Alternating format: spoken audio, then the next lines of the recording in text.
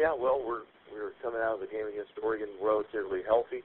Uh, had some, you know, a high ankle sprain and a few uh, strains and other sprains and bruises, but uh, nothing that's going to keep anybody out, which was totally opposite of this time last year. Coming out of the Washington game, we we lost three or four guys to season-ending injury, so uh, we we feel much better about our health.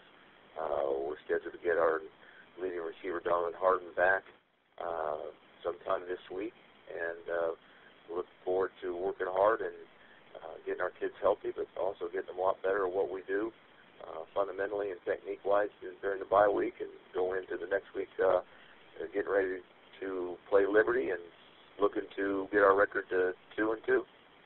Uh, thank you, Coach. As a reminder to our members of the media, it is uh, star one to get in the queue to ask questions. Uh, uh, Coach, you know, coming off the game at Oregon, obviously a tough place to play, but I'm sure one of the messages to your team is, uh, you know, when the team's executing correctly, uh, the Georgia State can play with anybody. Yes, I mean, you know, I think it we needed a game like that to, you know, some. Anytime you've been in, around and people tell you how bad you are for so long, sometimes I think they start to believe it, and uh, uh, I think that after watching the film and seeing that, you know, when we do it the right way and hold on to the football, take care of the ball, we can go out and play with anybody on our schedule. So, you know, we feel like we're vastly improved and and we're getting better. We just I know that score doesn't show it, but uh, there were times in that game where we competed and had a chance to cut it down to a 12 point game in the fourth quarter and, and turn the ball over. We take care of the football and uh, continue to improve. We'll be able to play with anybody that we play.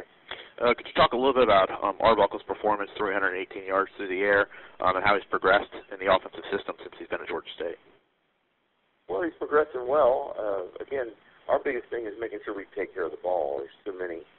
Too every game we play, we played three games, and in every game there's been either a fumble, return for a touchdown, an interception return for a touchdown, and uh, or, or something. You know what I mean? We so we got to quit giving up off scores against our offense.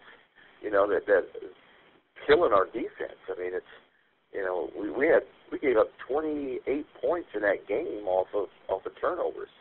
So we've got to figure out a way to take care of the football, and and it starts with Nick and making really good decisions. But uh, also, you know, if you feel like you're going to get sacked or something, get the ball put away and go down or throw it away. But uh, once we handle that, I think you'll you'll his rating to keep going higher and higher. It's just the, the turnovers that are killing us. So he's getting us in the right place, and that, that's uh, that's that's what really makes a difference. And, and finally, you're you're hitting the bye week here. You know, after uh, coming back across the country, uh, just to kind of talk about what's kind of the plan for the week with uh, with student athletes and, and the team getting ready uh, to face Liberty uh, on the third. Well, first thing is to get them healthy, and then also we've got to work. I mean, we're we're still a young football team. We only have three seniors on the defense, and uh, we're we're don't have that many seniors on offense. So we're a young football team that needs to work. We'll have a developmental scrimmage for the guys that don't play a lot or the guys that are redshirted uh, this week, and and uh, the the guys that do all the playing, they'll they'll still they're going to get healthy, but at the same time, we're going to work and get better at what we do and work on taking care of the ball even more than we do already, and and uh, get get ourselves prepared for Liberty.